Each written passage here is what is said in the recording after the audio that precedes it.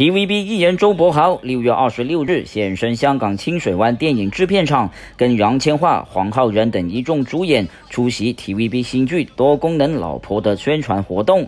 早前看到周柏豪刚刚拍摄了一场打戏，对此他则笑说：“以前在剧集《使徒行者二》里面，自己是一个很能打的人，不过这次的角色就是比较缺乏运动的那种，没办法打赢别人。但演戏的时候打不赢没关系。”千万别被打伤了，倒是真的。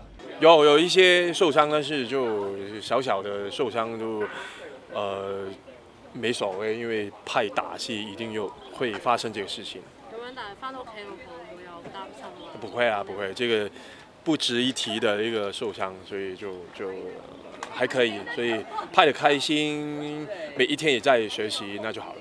另外，这次周柏豪在剧中和杨千嬅有不少对手戏。他饰演一个富二代，因为要租房子的关系，住在包租婆杨千嬅家里。但两人就是那种可以倾诉心事的好朋友。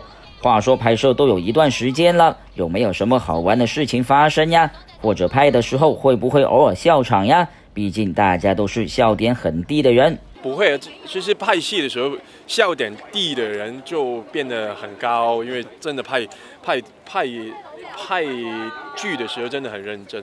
然后因为他在这个剧里面就比较伤心的，很多场景也是比较伤心，所以他他我觉得他很专业。吃饭的时候就会说开玩笑，但是中间拍的时候他完全不会说笑，然后很认真的投入这个角色。魔方传媒香港报道。